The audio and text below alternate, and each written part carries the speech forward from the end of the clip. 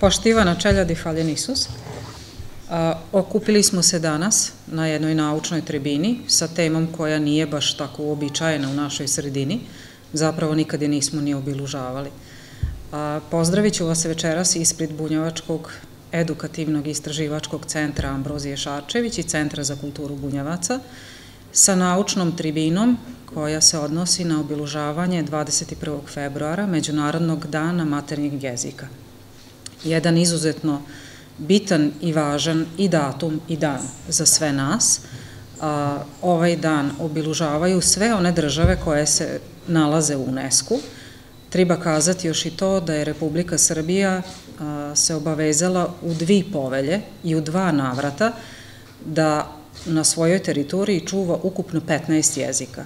U prvom trenutku potpisana je velika povelja o 10 jezika koji se nalaze i u službenoj upotrebi u Republici Srbiji, a onda u drugom navratu mala povelja u kojoj se između ostali nalazi i bunjevački bunjevački u tom trenutku bio govor, a on je, barem kad je obrazovanje u pitanju, od 17. decembra 2018. godine, odnosno lanjske godine, posto i jezik.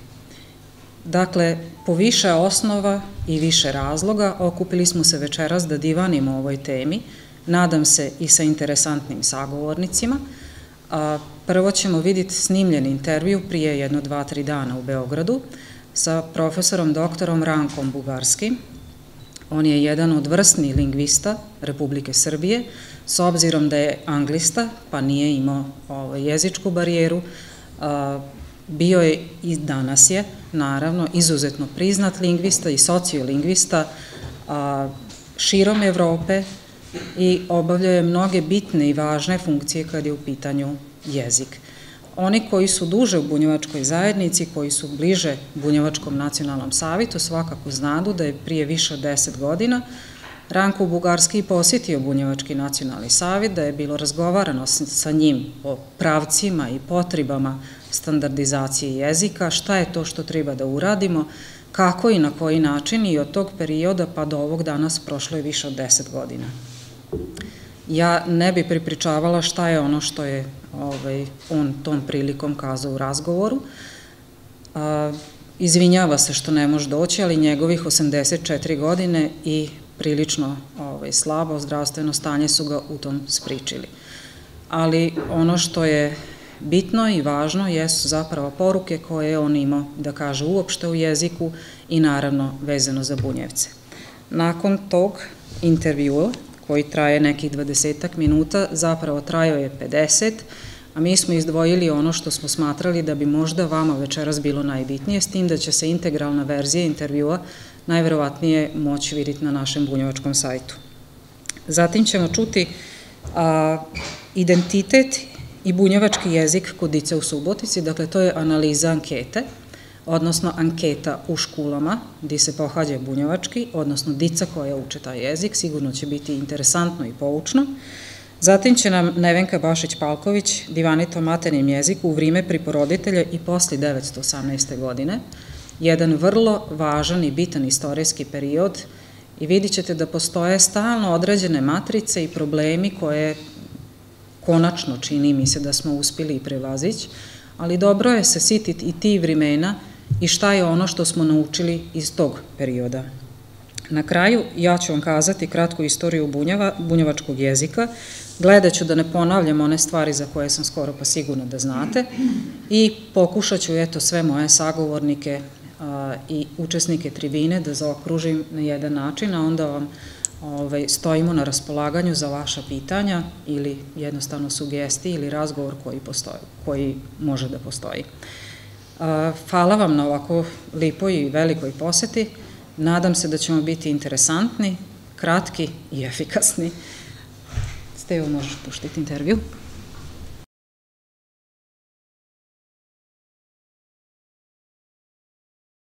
Poštovani profesore Bugarski, pre svega puno hvala na ovom intervju i bliži nam se dan maternih jezika, 21. februar. Recite mi nešto po vama, koja je važnost ovog datuma i uopšte jezika u celom svetu? Postoji jako veliki broj jezika manjih zajednica, pored jezika većih zajednica.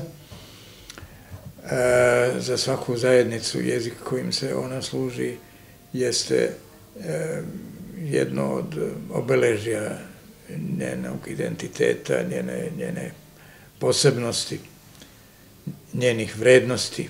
Vi ste vrlo često isticali da zapravo u kratkom vremenskom intervalu veliki broj malih, malih jezika, odnosno onih koji imaju mali broj govornika, umire. Kakva je tu statistika i koliko zapravo postoji ovaj, jezika trenutno u svetu? Teško je reći koliko jezika postoji. E, trenutno e, može se govoriti samo okvirno i uslovno. Obično se navodi neka, neki raspon od 5 do 6 hiljada jezika. Ima više razloga e, zbog kojih je nemoguće tačno odrediti taj broj. Samo jedan od razloga i možda najočigledniji je taj što e, je teško razgraničiti e, na, na neki opšte prihvatljiv način pojam jezika od pojma dijalekta. To je, jer razlika je manje lingvistička, a više sociološka.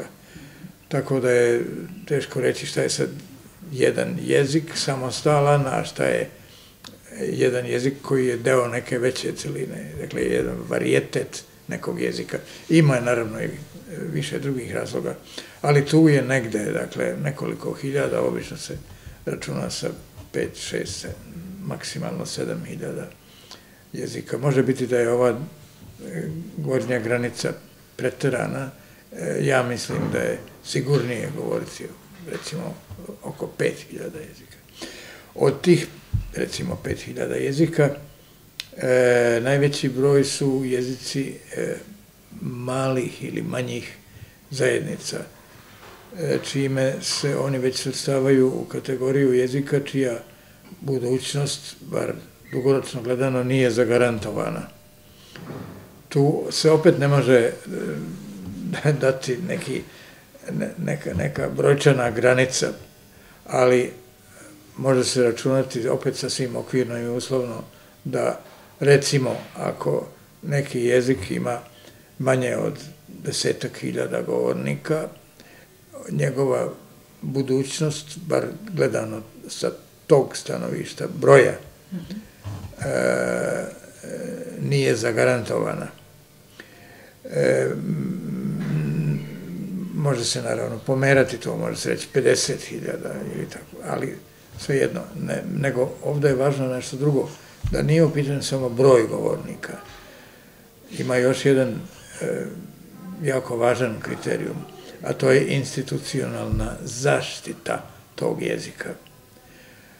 Ako govorimo o bunjevačkom konkretno, jezik, broj govornika bunjevačkog, bar iskazan na popisu, stanovništva je ispod one malo prepomenute granice od 10.000, jeli, bunjevaca po popisu iz 2011. Kao što znamo, e, nacionalno iskazanih bunjevaca ima koliko beše 16.700, ali e, u odgovoru na pitanje o maternjem jeziku, od tih 16.000 i nešto, manje od polovine se izjasnilo da im je maternji jezik bunjevački, najveći broj je rekao da je, su govornici srpskog jezika. E, to je opet sad, malo pre rekao, uslovno.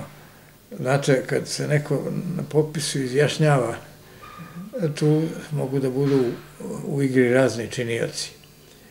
E, od ovih koji su se izjasnili, koji su, dakle, nacionalno izjašnjeni kao bunjevci, a jezički kao E, govornici srpskog jezika, možda su se izjasnili tako zato što smatraju da je to nekako zgodnije, prestižnije, e, zato što bunjevački ne uživa podjednak status društveni, politički, e, kao srpski, pa im onda dođe zgodnije, iako možda intimno u srcu osjećaju da je bunjevački zapravo njihov jezik, ali e, im dođe zgodno nekako da se izjasne kao govornici srpskog. i tako dalje. E, opet su razne mogućnosti u igri. Dakle, hoću time da kažem da podaci iz popisa su samo jedan orijentir e, opšteg karaktera, a ne moraju se i ne bi zapravo trebalo da se uzimaju kao nešto definitivno. Međutim, sad da se vratim na ono što sam malo pre rekao, e, institucionalna podrška, dakle, bunjevci u smislu e, govornika bunjevačkog kao maternjeg jezika su e, malobrojni, ali za razliku od nekih drugih malobrojnih, pa čak i brojnijih e, zajednica nego što su to bunjevci, e, bunjevački ima određenu institucionalnu podršku koja nikako nije za podcenjivanje. Šta to pre svega, šta uopšte znači institucionalna podrška? To pre svega znači da jezik ima svoje pismo, zatim u okvirima mogućnosti koje naravno variraju, da je standardizovan ili da je na putu da bude standardizovan. Šta znači standardizovan? To znači da ima osnovne instrumente jezičke, to su rečnik, gramatika, pravopis, eventualno e, stilistički, retorički priručnici, e, čitanke naravno, e, u školi i tako dalje. To sve zapravo bunjevački sad ima u određenoj meri. Pri tome opet ne treba gubiti iz vida činjenicu da standardizacija je po svojoj prirodi više jedan proces nego što je čin. Ali da bi postao proces standardizacije, mora neki čin da bude postavljen, da, da se odigra nešto što ste vi uspeli već sada u, na, u poslednje vreme naročito da postignete.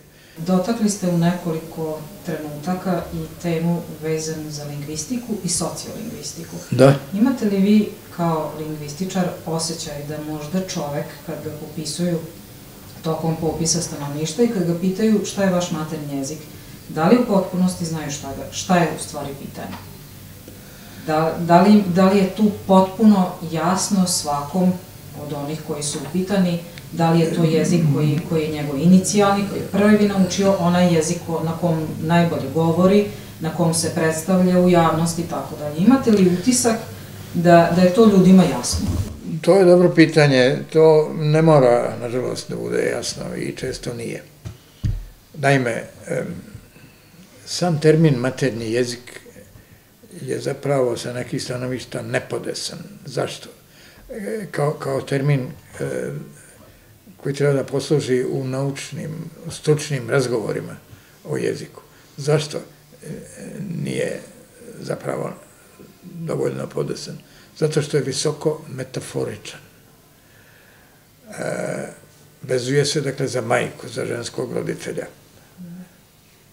To onda navodi čovek automatski e, na to da pomisli da kao što čovek može da ima samo jednu biološku majku, onda je jedino prirodno stanje da on ima samo jedan jezik, a posle može eventualno da uči neke druge jezike, ali ti drugi jezici su, će uvek ostati sekundarni. E, zatim, ta ista biološka metafora e, nagoveštava da e, je maternji jezik konstantna kategorija, kao što je majka jedna fizički, biološki konstantna. Ne možete imati dve majke ili tri majke. E, to opet za jezik zapravo ne važi, pošto ima toliko dvojezičnih i višejezičnih pojedinaca i od nas i u svetu. E, e, i, I, kažem, kad se tako gleda, vidi se koje su zamke te biološke metafore, kojih ljudi, naravno, ako nisu lingvisti ili drugi stručnjaci, nisu svesni. E, zato se u e, mnogim zemljama gde je e, dvojezičnost i višejezičnost izražena u mnogim razvijenim zemljama, kao što su u Evropi, recimo Švajcarska, Belgija ili, ne znam, preko okeana, tamo Kanada i neke druge, gde se veoma vodi računa o tome, pa i u nekim drugim zemljama po ugledu na ove, u novije vreme, dakle posljednjih recimo decenija ili posljednjih godina, e, intenzivno razmišlja o modifikaciji tog pitanja, baš na popisnim listama. Pa se to u nekim slučajevima razlaže taj pojam. Pa se kaže, nešto od toga ste upravo i vi sad pomenuli koji ste jezik prvi naučili, koji jezik najčešće upotrebljavate u kući, u porodici, kojim jezikom najbolje vladate. E, to, tu sve mogu biti uvek različiti odgovori. Pa onda tela koja obrađuju popisne rezultate gledaju, upoređuju, klasifikuju i tako dalje. E, Tako se može doći do nešto pouzdanijih e, odgovora. Kao ekspert za jezik, vi ste više od deset godina bili pri Savetu Evrope u ekspertskoj grupi koja je posmatrala na koji način se čuva materni jezik, odnosno manjinski jezici u Republici Srbiji. A, kakvo je vaše mišljenje sada, o, kad se već osvrnete na tih 12 godina, kako je vaše mišljenje, kako se čuvaju materni jezici u Srbiji i da li u toku tih 12 godina postoji nekih oscilacija ili je to prosto jedan niz implementacije zakona? Postoji naime jedan e, nešto što se zove ratifikacioni dokument kad, kad zemlja, država, članica Saveta Evrope pristupi toj povelji, onda postoji e, jedan dokument jedan, jedan meni zapravo obaveza koje se ona obavezuje da će ispuniti u vezi sa zaštitom svakog od pojedinih regionalnih ili manjinskih jezika na svojoj teritoriji. Pričemu ona sama država određuje koji su to jezici. Uh, uzgled da se ne bih vraćao sad na to, Srbija je pristupajući tam još 2005. godine, tada još u zajednici sa Crnom Gorom prijavila deset jezika, nije valjda potrebno da ih sad nabrajam, a, a, a, a posle je dodala još tokom rada i na inicijativu ovog komiteta dodala je još pet, među kojima je i bunjevački. Dakle, bunjevački, vlaški, makedonski, e, češki i nemački su ti dodatni gde se Srbija obavezala da će nešto preduzeti. Sad postoje, e, nemamo zapravo vremena da, da, da govorimo detaljnije o tome, postoje dva nivoa obaveza, jedne su se odnose, su opšteg karaktera, odnose se na sve prijavljene jezike, e, drugi su nešto konkretniji, ali sve jedno, E, država se dakle obavezuje da će nešto da uradi u cilju zaštite svakog od tih jezika, e, grupno ili pojedinačno, dakle iste mere za sve ili različito za različite jezike, o tome opet država sama odlučuje. E, I svake tri godine država podnosi i Savetu Evrope izveštaj o tome šta je uradila od onoga što se obavezala da će da uradi. To ide na ovaj komitet koji onda osniva gradnu grupu i tako dalje, e, sačini svoj izveštaj koji onda ide na plenum komiteta, e, pa onda na kraju, kad, kad bude tamo usvojen, on ide komitetu ministara Saveta Evrope koji je e, tako, e, kako da kažem, glavno, glavno telo e, odlučuju, koje donosi odluke u ime Saveta Evrope, to je komitet ministara. Um, e sad, e, ako, ako gledate Evropu u celini, to je jako velik posao sve skupo. Posao je veliki i za svaku državu e, koja je pristupila povelji, a pogotovo je veliki za komitet e, koji treba sad sve to da razmatra, tu je u pitanju oko 80 jezika regionalnih ili manjinskih na tlu Evrope u 25 država. E, pri tome neki, mnogi od tih jezika se ne govore kao manjinski, samo u jednoj državi, nego u više jezika, u više država. I, tako da je negde ima oko dve stotine manjinskih jezičkih zajednica u, u Evropi, koje imaju ukupno e, oko 200 jezika. Kažem, razlika je u tome što su neki jezici e, zastupljeni u više država, a država je 25. E, to je dakle velik posao. Otkad postoji ta povelja, a to je sad oko 20 godina, veliki je posao obavljen. Mislim da se može reći da je situacija u pogledu manjinskih jezika u mnogim državama poboljšana kao rezultat postojanja ovog tela, ovog komiteta. Neki jezici koji nisu ranije bili kako da kažem, nisu bili zvanično u tim državama tretirani kao jezici, nego su negde gurani u zapećak ili su tretirani kao dijalekti nekog jezika i tako dalje. E, e, dobili su u rezultatu to, te saradnje između e, evropskih institucija i državnih institucija. Dobili su drugčiji status, unapređeni su, mnogi su ušli recimo u službenu upotrebu, što ranije nisu, nije bio slučaj i tako dalje. Dakle, na, na strani pluseva ima toga dosta. Što se tiče minusa, e, ima i toga.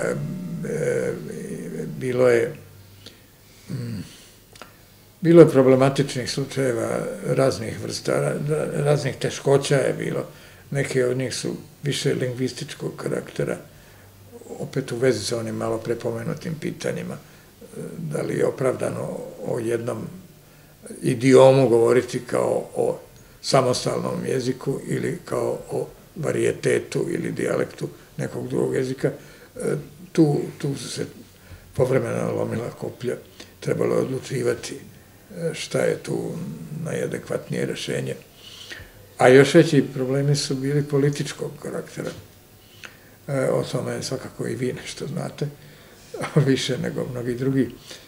E, jer se dešavalo da se jedna jezička zajednica kao takva priznata u određenoj državi svojata od strane neke druge, često susedne države i tu je onda izvor velikih e, problema i onda tu može doći do značajnog zastoja u radu E, tog komiteta, a što onda znači i u radu institucija države.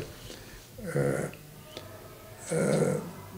tako da onaj trogodišnji ritam koji se malo pre promenuo podnošenja izveštaja može da se otegne e, zato što je recimo komitet ministara doneo svoju odluku a, i to je otišlo na komitet ministara, ali pazite, komitet eksperata, pardon, komitet eksperata je sačinio izveštaj. E, to su dakle eksperti, lingvisti, međunarodni pravnici i tako dalje.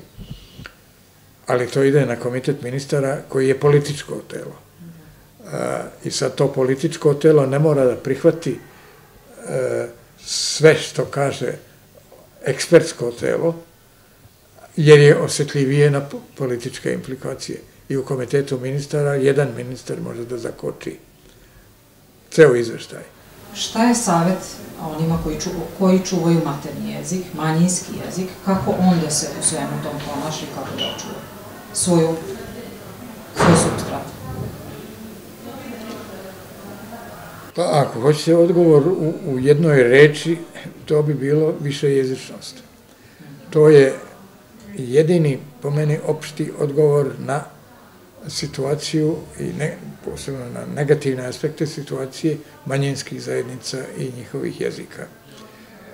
E, mislim da nije nimalo kao odgovor na nesumnjive procese globalizacije. E, nije adekvatno reći, eh, ja ne volim globalizaciju, ona mene ugrožava, e, ugrožava moj identitet, ja moram da ostanem u, u okvirima svog jezika, a oni tamo globalisti nek rade šta hoće. To vodi u getoizaciju. to nije dobro ni za jednu zajednicu. Onaj bunjevac koji se nacionalno izjasnio kao bunjevac i koji se jezički izjasnio kao govornik bunjevačkog jezika, e, ne mora samim tim i po meni ne treba samim tim da misli da je sad taj njegov bunjevački nešto sasvim drugčije od srpskog, u toj meri da ako on prihvata bunjevački kao svoj maternji jezik, da bi on sad rekao, e pa sad srpski mi ne treba ili ne, ne, ne, neću da znam baš mnogo za taj srpski. E, to je pogrešan stav po meni. Ispravan stav jeste da se i jedan i drugi doživljavaju kao svoji, samo na razne načine i na raznim nivoima. Bunjevački više za privatnu sferu, ne isključivo za privatnu sferu. Zato sam pažljivo rekao više za privatnu sferu, jer govorimo o standardizaciji i tako dalje, koja naravno onda ide u javnu sferu, a srpski je obavezan u javnoj sferi. E, dakle, zvali to dvojezičnost ili ne, ali treba da postoji svest o tome da ovde nisu pitanje suprotnosti, nego dva entiteta koji se dopunjuju u ličnosti istog govornika e, i u, u, u liku, ako hoćete, u profilu cele e, govorne zajednice. Bunjevački, kao i mnogi drugi jezici manjih zajednica, uživa nekako niži status i društveno gledano, politički gledano, i e, nametije raznih negativnih stereotipa. Bunjevački, recimo, mnogi će reći, ba, kakav je to jezik, to je tamo za, za one salaše, a ja hoću da idem u svet, e, ja sam globalista i ne znam šta. E, e protiv tih negativnih e, stereotipa se treba boriti i na jezičkom planu. I posteći ili težiti da se postigne e, osjećanje da je sobstveni jezik um, dostojan da bude materni jezik i da se ljudi njime služe i da ga čuvaju i unapređuju. Čuvati, dakle, dostojanstvo svih oblika govora, bili standardizovani ili ne. Eto, to bi negde bili moji saveti. Svaka čast. Hvala vam. Molim.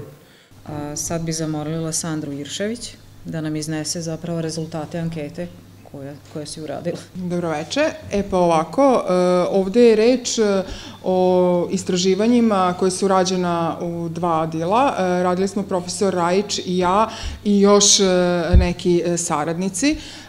Jedno se odnosilo na to da smo anketirali decu od 5. do 8. razreda u Subotici koja izučavaje bunjevački jezik sa elementima nacionalne kulture o samome jeziku i o odnosu njihovog identiteta i jezika, a druga anketa se odnosila na odrasla lica, znači 18+, plus, gde smo isto tako propitivali ih o značaju jezika, identiteta i kako oni to vide.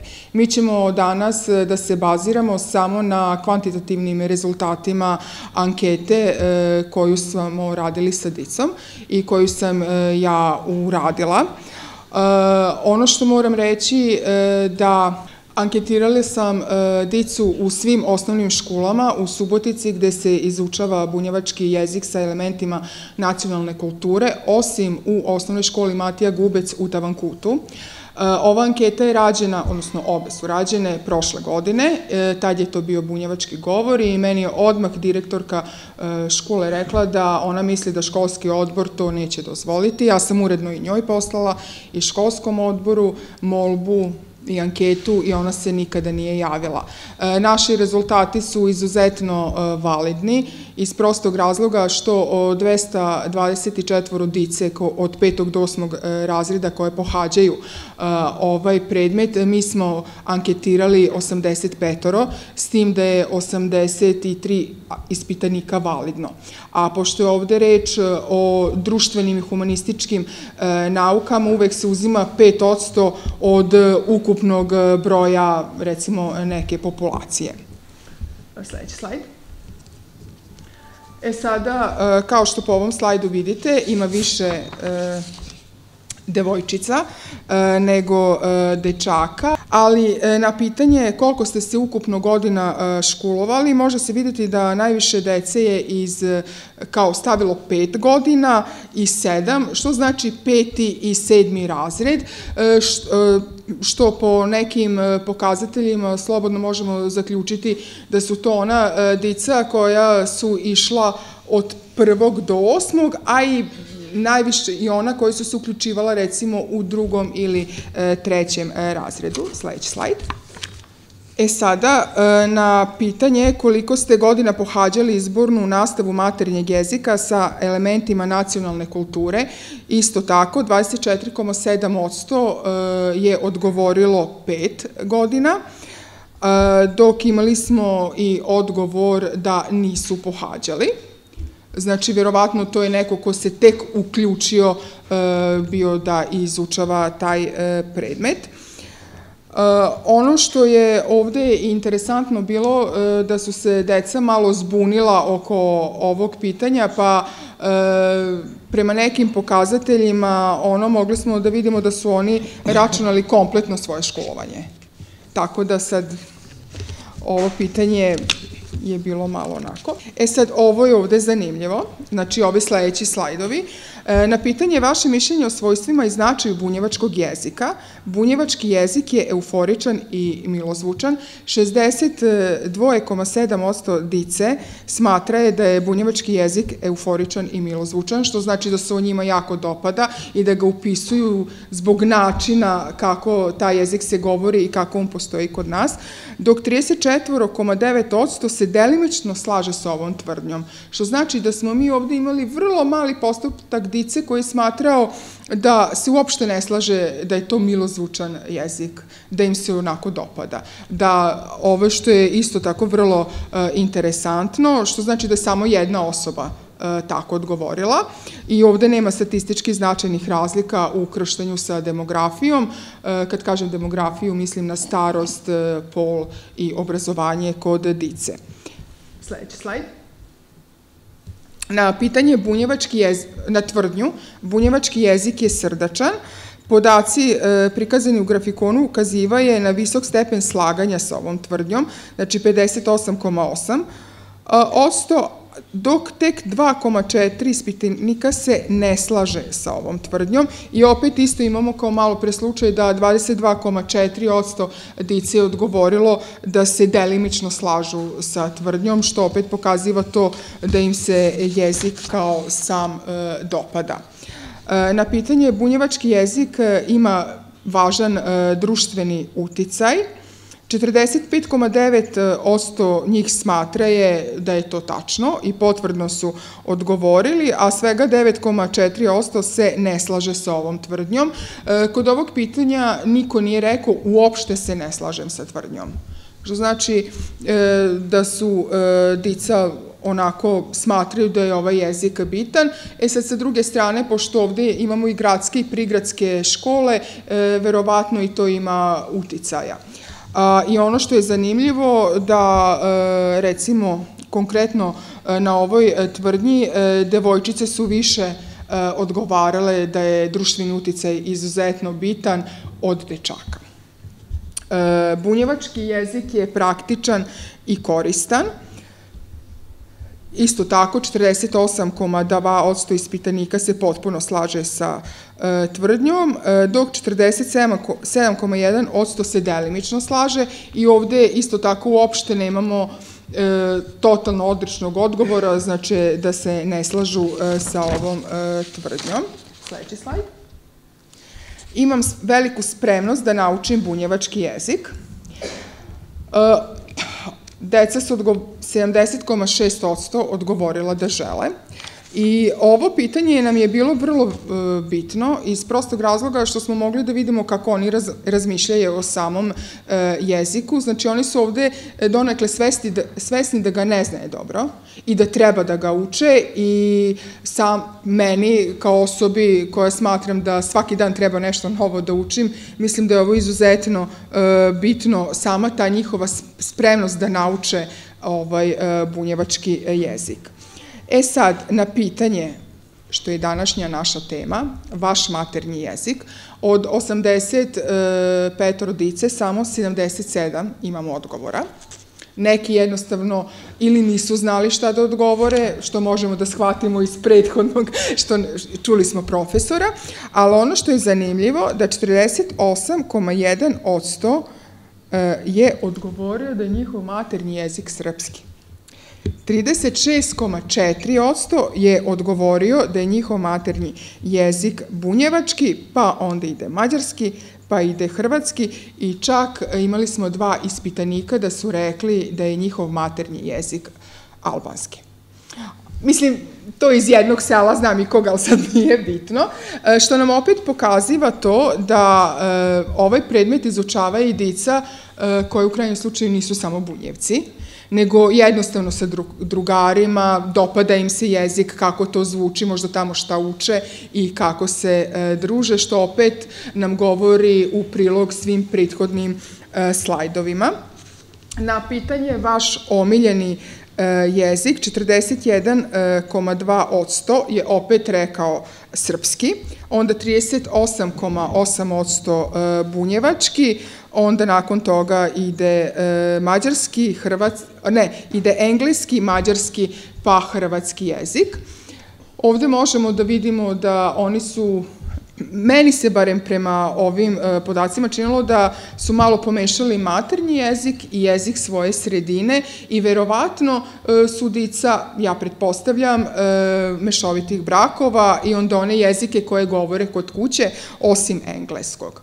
Znači, pretpostavljam da i to za ovaj engleski jezik, ako sam gledala prema demografskim podacima, to su uglavnom rekli dečaci i devojčice osmih razreda, što znači ona starija dica koja su bila svesnija pitanja. Ovo je zanimljivo, mi smo pitali dicu da nam oni sami kažu kako smatraje da oni i njihova okolina govore, znači, hrvatski, mađarski i srpski i onaj, ono što je e, zaključak bio da smatra je da svi srpski dobro govore, ali da ne znaje e, ni hrvatski, ni mađarski i da treba da ga nauče. Sledeći slajd. Evo, toliko. Ja sam malo skratila, ovaj, čisto pošto imamo puno uh, govornika, ovo izlaganje. To će biti deo jedne studije. Profesor Rajić i ja se nadamo da ćemo je i publikovati, ali pre, u nekom zaključku koji bih ja mogla ovde da izvedem jeste da su dica svesna ovaj, da moraju da čuvaju svoj jezik i mislim da je vrlo bitno što su sami bili svesni da ga ne znaju govoriti dovoljno e, nego da moraju da ga uče. I za kraj bi ja bi se zahvalila samo Mirjani Savanov, e, pošto je ona vodila, kad sam ja radila ovu anketu, odbor za obrazovanje i povezala me sa svim učiteljima i nastavnicima. Tako puno hvala.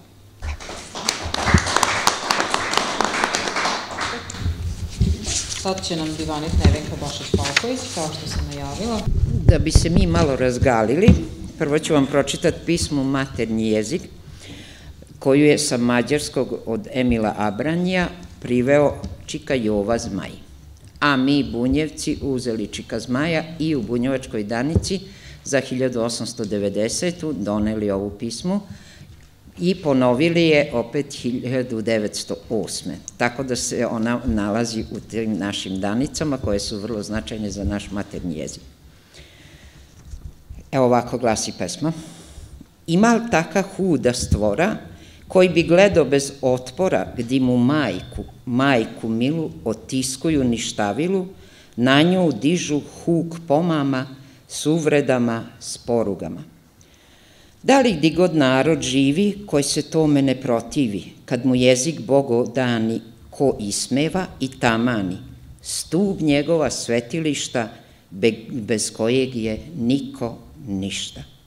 Suze roni naša majka, haj na nju se diže hajka, hoće da joj grlo stisne, ni pred Bogom da ne pisne, ili joj torbu ovrat žele, pa mrvice da joj dele ali ne damo je o toj bedi, dogod nam se krv ne sledi, dogod vlada Božja pravda u kojoj se i crv nada, dogod znamo šta je sramota, dok je iskre od života.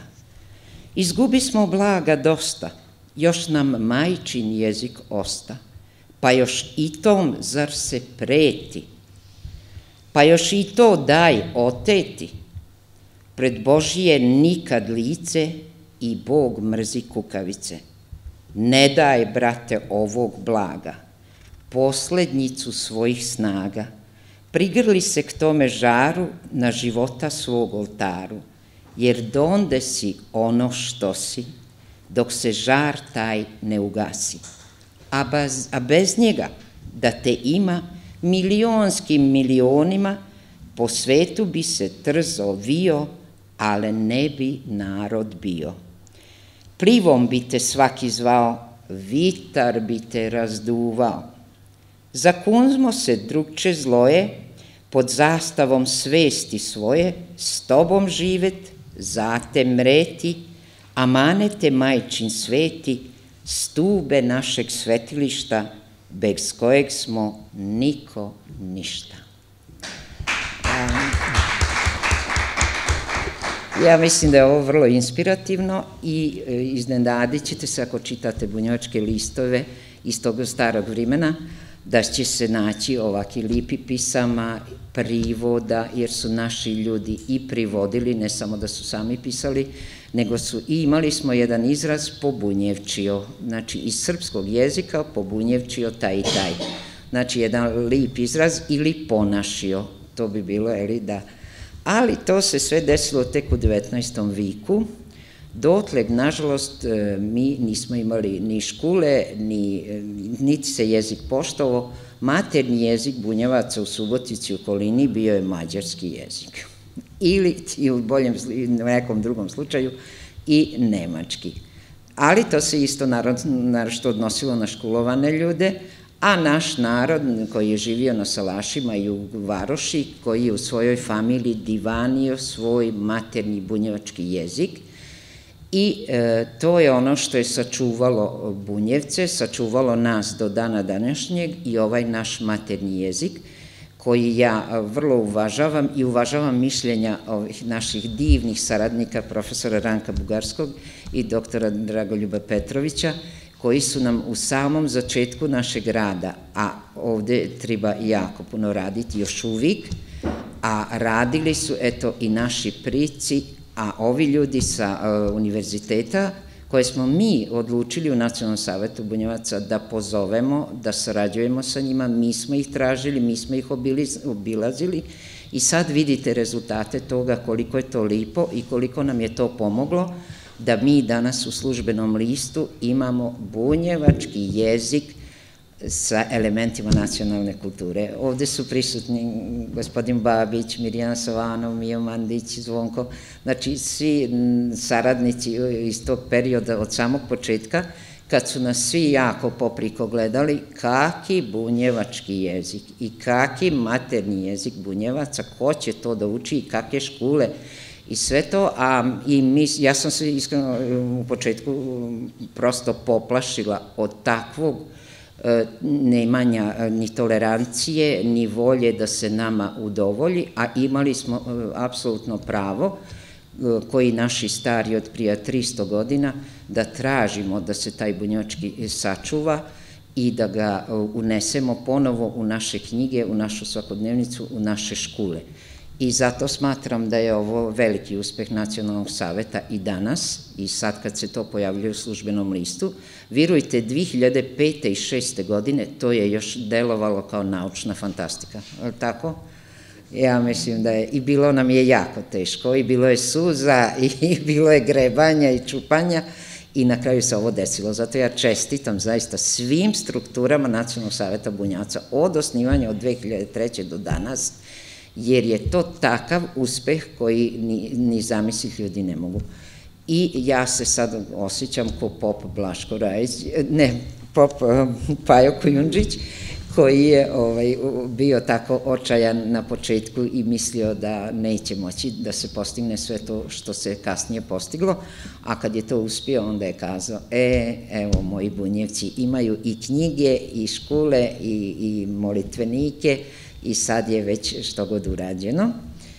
Naravno i njega je smrt prekinula u njegovim velikim poslovima, ali e, to je dakle u 18. veku mi imamo naš bunjevački govorni jezik i imamo ga u dokumentima Istorijskog arhiva Subotica i drugih arhiva u kojima se čuvaju testamenti naših ljudi, u kojima se čuva statut Subotice na bunjevačkom jeziku. I to je jedan jako lip narodni, čist narodni jezik, prosto je e, lipo čitati. Naravno, pisan je mađarsko-nemačkom ortografijom, znači stari pravopis, ali se vrlo lipo razumi sve to što je tamo napisano. To je profesor Aleksa Ivić isto već istraživao e, još u 20. viku između dva svjetska rata i o tome pisao. To su istraživali svi e, divni saradnici iz srpske zajednice koji su uvek davali podršku bunjevcima na ovim terenima, tako da je od samog početka e, mnogi Srbi, veleposednici, imućni ljudi, pa i manje imućni, pomagali su srpske listove i jednostavno zajedničkim snagama uspivali sa bunjevcima da dođu do velikih rezultata ali mi naravno u tom periodu posle 18. vika, u 18. viku znate da se pojavljuju prve naše knjige i o, pojavljuje se spev dostojna plemenite bačke starih uspomena Grge, fra Grge Peštalića iz 1790. po starom pravopisu gde se govori o zajedništvu svih Slovena, o borbi protiv Turaka, o tome da, i naravno to na narodnom jeziku, ali starim pravopisom. Onda dolazi Boško Vujić 1866. i izdaje već novim pravopisom e, knjige, e, odnosno istu, da, istu tu knjigu ovaj, Grgura Peštalića, ali sad već novim pravopisom i ta knjiga, naravno, pošto je umetnički epi, bliska je bila narodu, ona se pojavljuje posle još u nekoliko izdanja ali mi u suštini govorimo u našem ovom preporodu o Ivanu Antunoviću, o Popaju Kujundžiću, o Mi Mandiću, koji je isto dao nemerljiv doprinos i o svim njihovim saradnicima, dakle braća Kujundžići, braća Evetovići i e, dosta tih ljudi koji su upravo baš na tim jezičkim stvarima radili.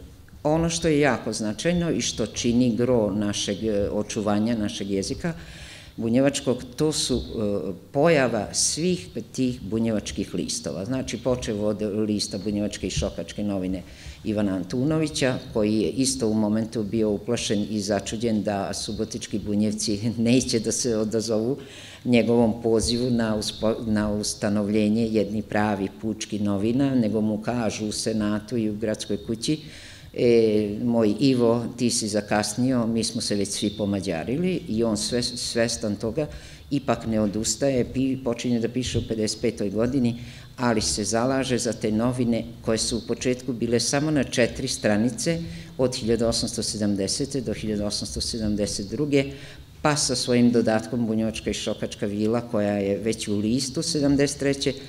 ali je li, izlazi do 1876 i e, tu se e, e, uz njegove dobre saradnike uspilo očuvati to da se upravo na Bunjevačkoj ikavici taj list rado čitao, da su njemu bili saradnici, izuzetni saradnici su mu bili Blaž Modrošić, koji je, kojem je kasnije i ostavio, to je Šokac, kome je onda Ivan Antunović i ostavio da dalje radi na Bunjevačkoj šokačkoj vili, ali i dobar saradnik Kalor Dragutin Milodanović, koji onda kad izuči, to su i Mio Mandić, znači sve učenici biskupa Ivana Antunovića odlaze kasnije iz e, njegovog okrilja i sami stvaraju. Kalor Dragutin Milodanović misečnu kroniku u Subotici, ali ona kratko traje, godinu i po dana, i onda Subotički glasnik, prvi jeli, nedeljni list koji je e, u Subotici izlazi od 1873. do 1876. godine i vrlo je značajan i donosi odlične e, članke i ono što je karakteristično i za Bonjevačke i Šokačke novine i za ove kasnije listove, oni svi imaju isti program bunjevačkim jezikom obučavati svoj narod, odnosno Dida Mio je kazao bunjevačko i lirskim naričjem podučavati i raditi na korist svog naroda, I u početku znate da se i taj naš jezik čak i u službenim aktima nazivao dalmatskim, jezikom dalmata ili i lira i liričkim i tako dalje, ili kako to Petar Katančić kaže 1830. i 1831. kad prevodi e, Stari i Novi Zavet, on kaže da je ovo dilo napisao na slaveno i liričkom jeziku bosanskog izgovora. I da se taj naš jeli, stari jezik i tako izvao jeli, i kao bosansko-ilirski i tako dalje, ali eto, naj, pobedila je ona struja koju je e, Mio Mandić najviše zagovarao, a i ostali njegovi saradnici, a to je da se zadrži bunjevačka ikavica. Znamo da je biskup Ivan Antunović isto to poštovao do 1879. a onda je u svom dilu Bog s čovikom kazao, čekajte ljudi, pa mi svi imamo jedan zajednički jezik, mi smo svi braća, braća su Srbi i Bunjevci su braća, i treba da divane istim tim jezikom, samo kaže možda da se e, Srbija odreknu Ćirilice i da se e, onda privuče i ostali dio naroda koji govori i jekavski, pa da onda imamo lijepo, ne lipo, nego lijepo, bez j, znači nije prava ona i jekavica, ali i e. I onda je on dalje se držao tog svog pravila, ali ostali u, u svim ostalim listovima u vrlo značajnom nevenu koji nam izlazi stvarno 30 godina i u kome je Mio Mandić uz, uz pomoć svojih saradnika uspio da tu ikavicu prosto izgradi, da je e, ona bila dominantna, da je taj e, mesečni list uspevao da okupi oko sebe brojne saradnike, dopisnike iz svih mista gde žive bunjevci, i da se ta ikavica jako lipo dalje razvija. Osim toga znamo da je Mio Mandić autor e, prvih tih ovaj, učbenika iz 1880 da je on pridavao u tim sredinama jeli, gde žive bunjevci, pa je uspio i pored tog što je jeli, nastavni plan i program pisao, morao da piše na mađarskom jeziku, ali eto učbenike, on je među prvima radio i ovaj, e, na Ričniku iz 1883. kad je skupio 10.000 bunjevački riči u to vrime, eto mi ćemo sad imamo i Ričnik, novo izdanje, Znači, sve su to, vidite kakvi su to koreni još iz tog starog perioda, a da ne kažemo da je Bozo Šarčević izdao nekoliko tih e, bunjevačko-mađarskih e, ričnika i tolmač jugoslavenskih riči koji je upravo služio za to da se bolje e, čitaju bunjevačko-šokačke novine. Tako da je taj, u stvari, kraj, deve, druga polovina 19. Vek, vika bila, e, znači, veliki preporod i veliki doprinos u razvoju bunjevačkog jezika, jer nam se onda, eto, počeo od 1868. jeli, pojavljuju ti bunjevački, prvi bunjevački kalendari, isto vrlo značajni, jer oni isto spadaju u periodična izdanja. Dakle, prvo su nam se kalendari po, pojavili, pa tek onda listovi i onda otud mi imamo te značajne datume, a da vam ne kažem da se e, pre par godina otkrio, e, pazite koji naslov, jugoslavijanski kalendar iz 1850. To je šokački kalendar koji onda pomera tu granicu naših kalendara jer mi uvijek divanimo o bunjevačko-šokačkim kalendarima, a on se pojavio 1850. i e, ga nismo našli ni u jednoj biblioteci u ovoj srednjoj Evropi gde sam se ja kretala sa ovom grupom oko izučavanja bunjevačke i o, subotičke bibliografije i onda se on pojavio na terenu Osijeka, ali to je izdanje Subotica 1850.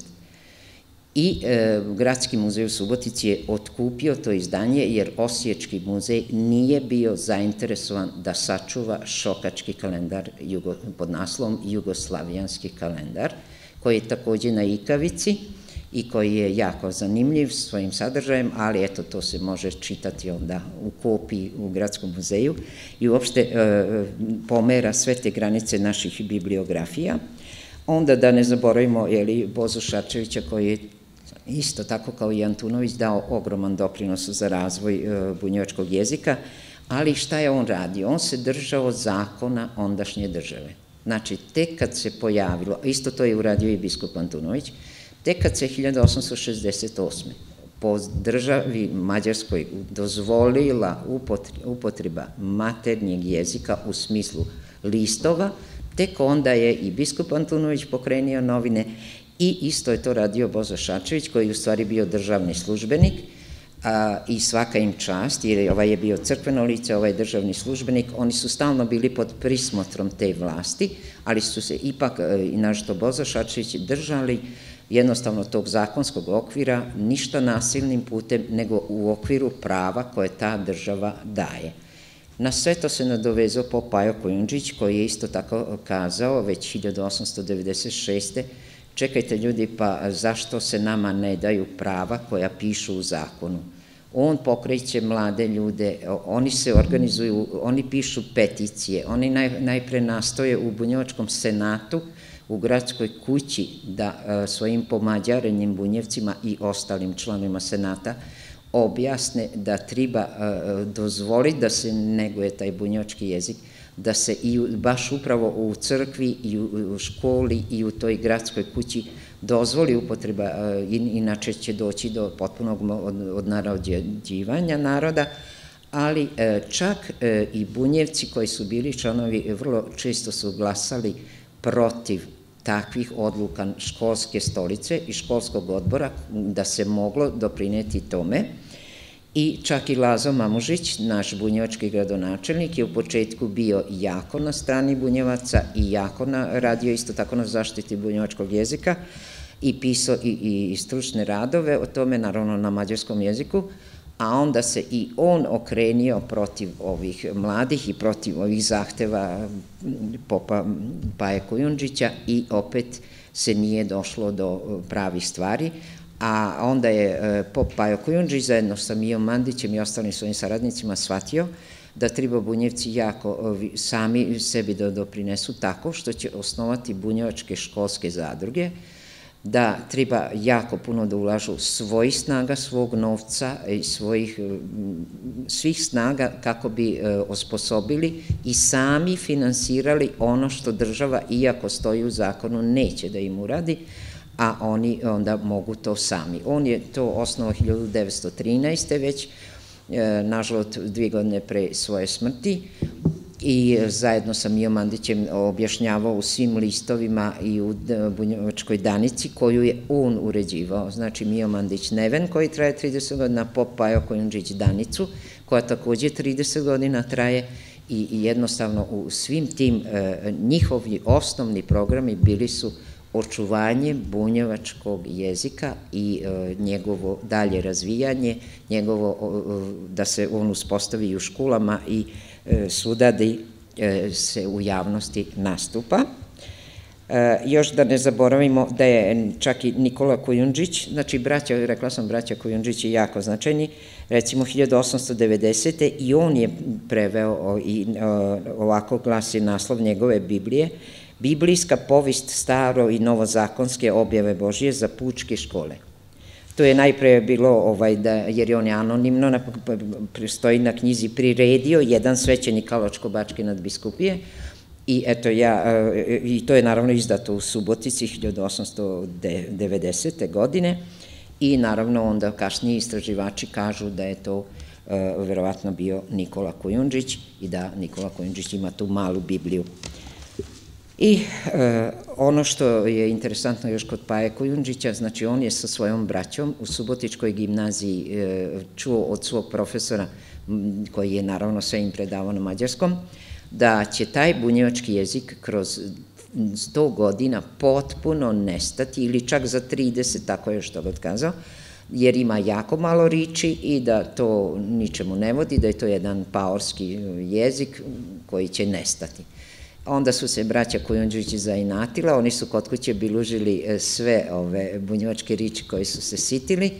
I kasnije kad je e, Popajo Kujundžić onda prešao u Suboticu da bude profesor veronauke u Subotičkoj gimnaziji, on se vrlo dobro tog sićao i on je podsticao svoje đake da ipak ne zaborave svoj materni jezik i da, da ovaj, sve to uspeju sačuvati međutim i dalje, i dalje ovaj, otpor vlasti bio velik E, pa su se onda Subotička bunjačka omladina još 1896. organizovala u takozvano veliko kolo i u kolo mladeži i dakle oni su stalno osnivali svoje udruženja i to je dobro, Bunjačka pučka kasina koja je morala da se zove pučka kasina, je li 1878.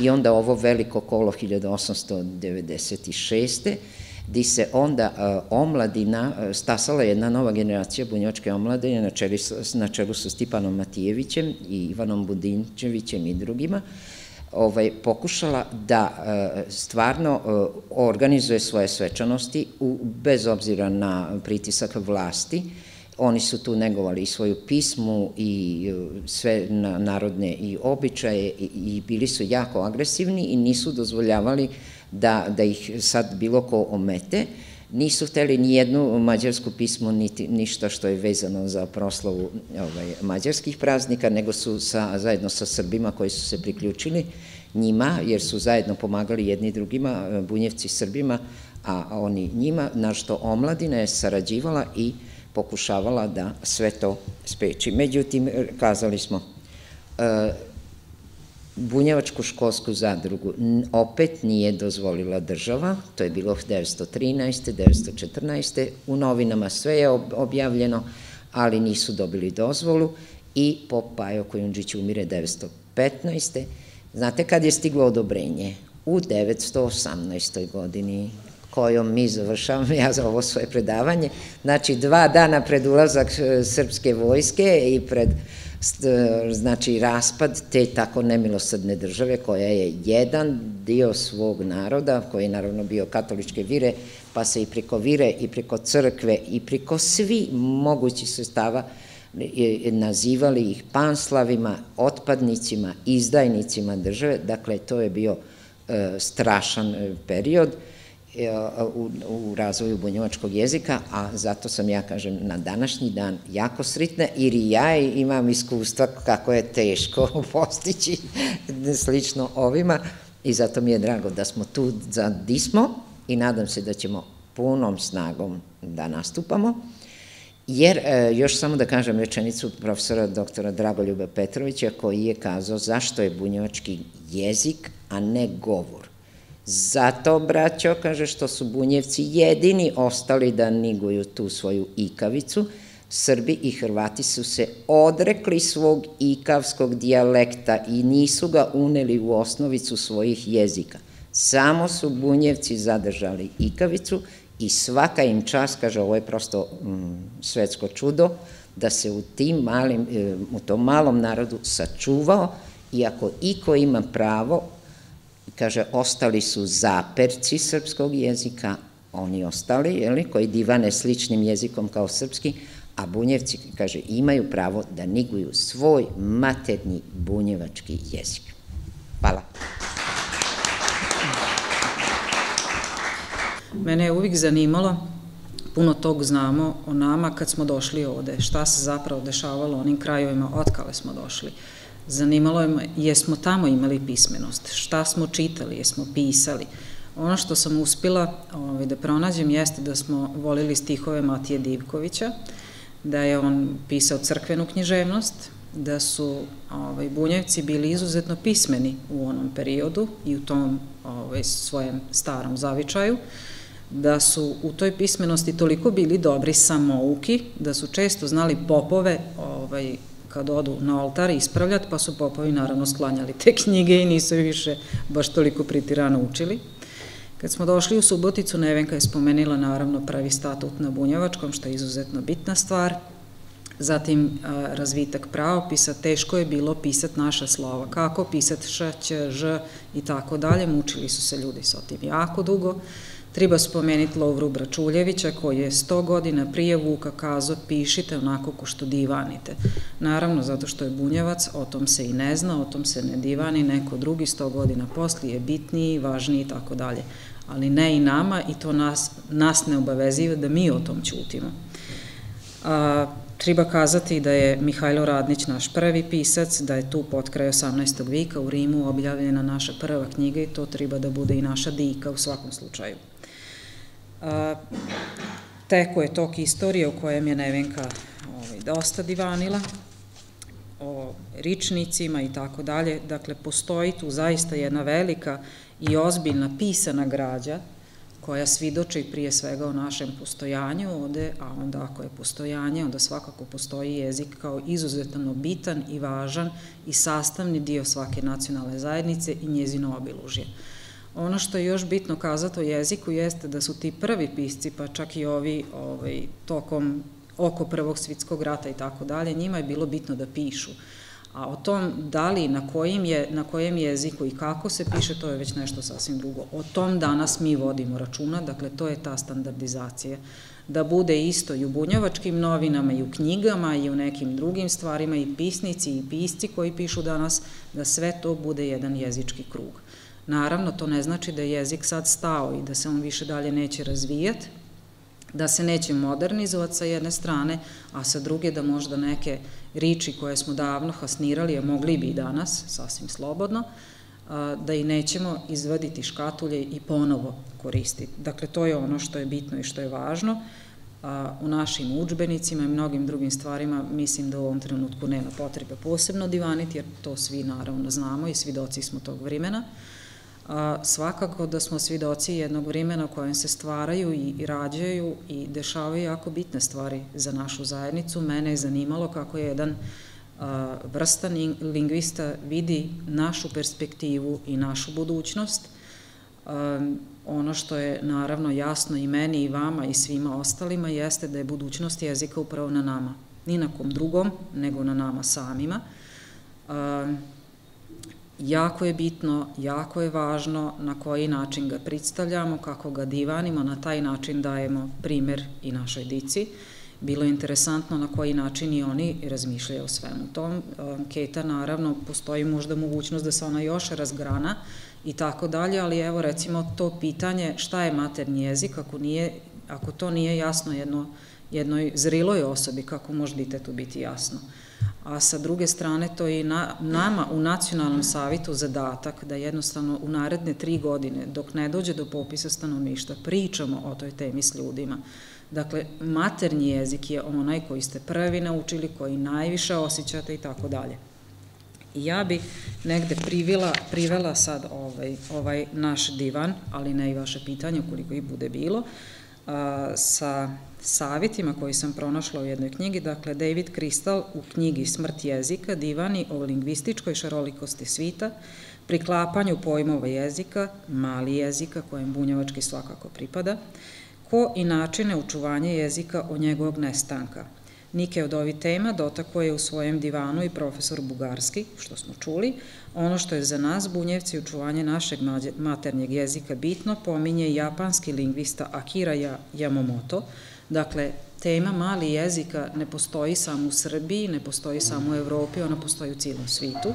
Kaže da postoji des, devet faktora koji utiču na jačanje mali jezika. Prvi je da dominantna kultura koja postoji, da toleriše jednoli, e, jezičku raznolikost. Dakle, mi drži, živimo svakako u Srbiji, u kojoj se, rekla bi, barem toleriše bunjevački. Snažan osjećaj zajedništva unutar zajednice koja divani ugroženi jezik, forsiranje obrazovnih programa posvećeni malom jeziku i kulturi, sastavljanje bilingvalnih školskih programa, pa to još uvijek ne radimo, imamo programe na svojem jeziku, očuvanje govornika kojima je ugrožen jezik za poslove u nastavi, angažovanje čitave jezičke zajednice, sastavljanje nastavnog materijala koji se lako koristi, razvijanje pisane književnosti, tradicionalne, ali i nove, sastavljanje i afirmisanje različiti situacija u kojima se ugroženi jezik mora koristiti i na kraju biste Evu zamolila za par sekundi još šta nam je profesor Bugarski na kraju poručio. Pitali razvijati svest e, o tome da, je, da su govornici bunjevačkog bili izjasnjeni kao bunjevci ili kao srbi ili ne znam šta. E, da su toliko bogatiji što imaju i, i jedno i drugo. Slikovito govoreći, mogli se reći da, da im je jedno e, a, jezik srca, a drugo jezik uma. To je sim, sim, sim, metaforički govoreći, simbolički govoreći i uprošćeno govoreći. Dakle, jedno je jezik srca, a drugo je jezik uma. Iako niste znali, večeras ćete otići bogatiji jer znate dva jezika. Hvala. Dva jezika.